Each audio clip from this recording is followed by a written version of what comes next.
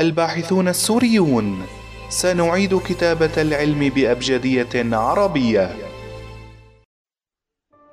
تحويلة تسمح بحدوث الحمل أو منعه. تتنوع موانع الحمل تبعا لجوانب مختلفة فمنها ما هو ذكري أو أنثوي وتعمل بطرق مختلفة دوائية كانت أم ميكانيكية بأسعار متنوعة وآثار جانبية مختلفة. لكن أن تتم هذه العملية عن طريق ضغطة الزر فهو أمر مثير للاستغراب حقا. فهل هي دعابة ما؟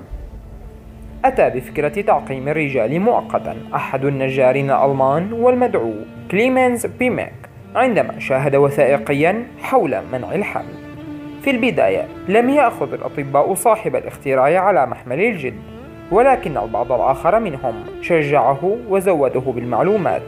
ليخترع بعد ذلك جهازا ويطلق عليه اسم بماك SLV حيث قام بتسجيله في عام 2000 وحاز على براءة اختراع لفكرته والتي تدور حول أول محولة فعلية تسمح بالتحكم بتدفق النطاف وكان يعد بتغيير مستقبل عمليات قطع الأسهر القناة الناقلة للنطاف وهي وسيلة منع حمل نهائية آلية العمل.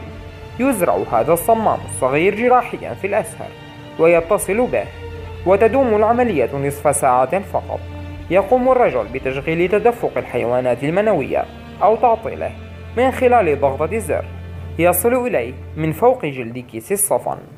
عندما يكون الزر على وضع أوف يغلق الصمام ليمنع وصول النطاف إلى السائل المنوي وبهذه الطريقة يصبح الرجل عقيما مؤقتا.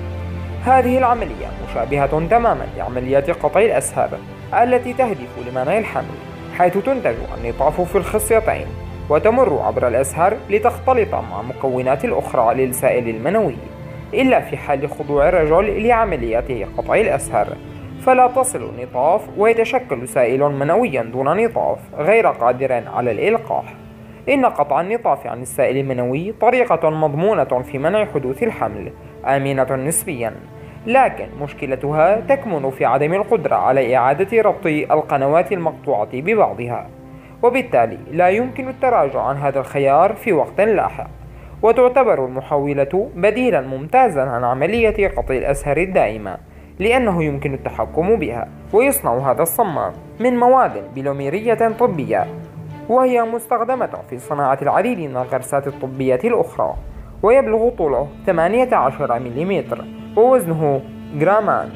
يمكن للصمام أن يبقى مغلقا حتى ثلاثة أشهر قبل أن يتعرض لخطر الانسداد وقد يعمل الصمام بفاعلية مدى الحياة إن لم تحدث أي مضاعفات.